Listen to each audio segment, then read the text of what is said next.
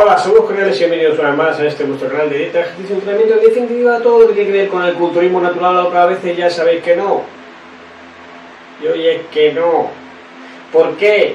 Mm, Porque es mi canal y yo decido cuándo es que sí y cuándo es que no, sencillo.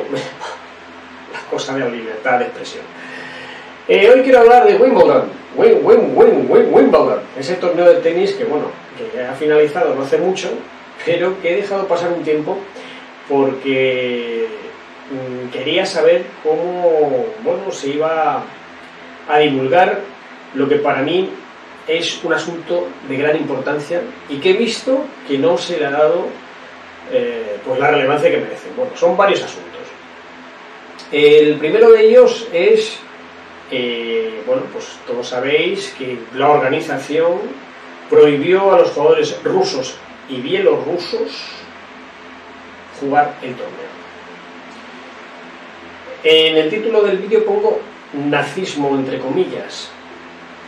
Y bueno, pues eh, es un poco una actitud, eh, si no nazi, una actitud racista, injusta, discriminatoria. Y prácticamente pues eh, ha pasado un poco desapercibida. O sea, se tenía que haber montado un grigay tremendo. Es decir, es el único torneo del mundo que se permite no dejar jugar a alguien por su nacionalidad. Primero le señala, ¿eh? como hacían los nazis, que señalaban a, los judíos, a los gitanos, bueno, a todos los que se querían cepillar, primero les señalaban y luego ya hacían lo que querían. Pues esto en la idea global es un poco, eh, valga las distancias por supuesto, en el origen algo similar. Es decir, yo, organizador del torneo de Wimbledon, señalo a este señor porque es ruso, señalo a esta señora porque es bielorrusa, señalo a este otro porque es bielorruso, señalo a este otro porque es ruso, señalo a este otro porque también es ruso y señalo a esta otra porque también es rusa y a todos ellos no les dejo jugar porque no me da a mí la gana.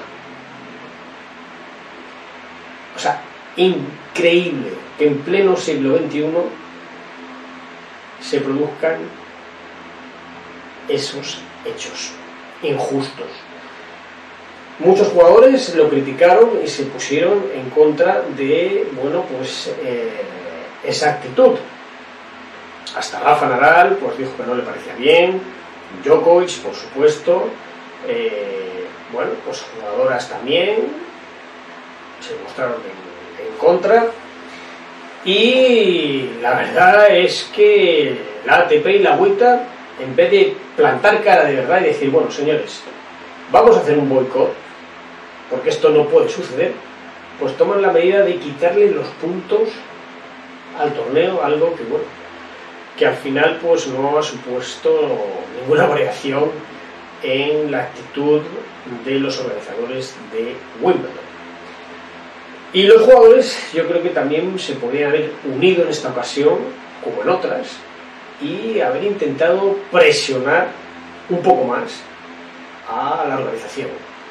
Que no solamente, no solamente tiene actitudes un poco, digamos, eh, totalitarias en este sentido, sino también en la ropa. En la ropa. Yo entiendo que bien que para preservar la tradición, pues todos los digamos, los jugadores y jugadoras jueguen y jugadores, jueguen y jugadoros, jueguen y jugadores, ¿eh? porque hay que decir todas estas cosas, ya ves tú, para estar, para estar a, la moda. Pues todos los jugadores y jugadoros y jugadores y jugadores deben ir de blanco. Me parece muy bien, me parece muy bien. Ahora, lo que ya me parece exagerado es que también les obliguen a usar ropa interior blanca. Y además hay jugadores jugadoras que no tienen ropa interior blanca y se han tenido que quitar la ropa interior para poder seguir jugando el torneo. O sea, algo que me parece increíble y que tampoco se ha armado ningún revuelo y bueno, pues alguna jugadora que ha dicho que bueno, que le parece increíble y que no estaba dispuesta a ponerse un sujetador blanco porque no le daba la gana, y ha preferido jugar sin sujetador, pues poco más. Poco más. Así que quería decirlo porque me parece, me parece increíble lo que ha hecho la organización del Wimbledon este año, sobre todo con los tenistas rusos y bielorrusos.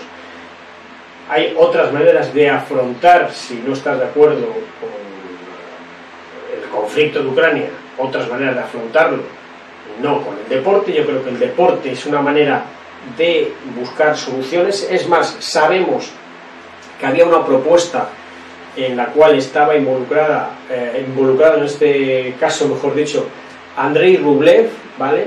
Que había propuesto, no sé si él directamente o la ATP, bueno, la propuesta estaba ahí sobre la mesa de que un jugador ruso, en este caso Rublev, y una jugadora ucraniana, bueno, pues se barajaba Svetlana o otra jugadora ucraniana, formasen un dúo en el dobles mixtos para poder dar el mensaje de que si se quiere, se puede, de que Rusia y Ucrania pueden compartir con el deporte y pueden estar perfectamente sin ningún tipo de conflicto entre ellos. ¿Y qué hizo Wimbledon al respecto? No, no queremos jugadores rusos, no queremos que jueguen jugadores bielorrusos en este torneo. Y punto. Propuesta denegar. O sea, increíble.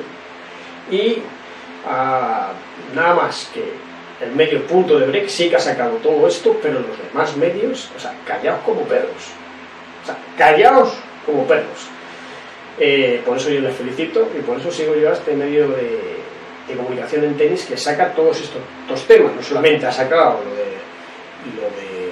la propuesta de Rublev, sino también ha sacado, ha sacado el tema de los sujetadores, también ha sacado el tema de la prohibición de los, de los tenistas rusos y bielorrusos y lo ha tratado con bastante profundidad y con bastante seriedad y dándole la relevancia que merece. Pero los demás medios, pues, ahí, a escondidas, digamos que mm, siendo cómplices de esta manera de la actitud totalitaria de la organización de Wimbledon.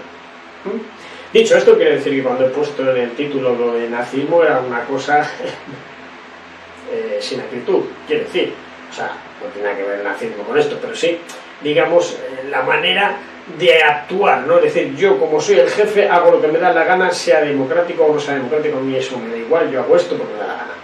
Es una actitud totalitaria y a eso me refería. Bueno, dicho esto me voy a callar ya porque ya está bien. Os voy a decir cuatro cosas porque si no os las digo yo la gente se calla como los perros de Baskerville bueno, realmente era uno, sí, sí, era el perro de Baskerville. Me he confundido, lo siento mucho, me he equivocado, no volverá a suceder. Pues eso, como no las diga yo, no la dice nadie. No pain, no pain, no croissant, no mojar pan, no palmera de chocolate, no Joe Biden, que estamos como estamos por culpa de ese señor. ¿eh? No Putin, porque también Putin tiene parte de culpa en todo esto, quizá menos, y no Zelensky, porque también a lo tonto, pues el tío no cede, y entre todos, entre todos nos están jodiendo a los ciudadanos de a pie, porque nos está subiendo todo y nos van a acribillar. Así que nada, dicho esto, os mando un saludo muy cordial y nos vemos en la próxima.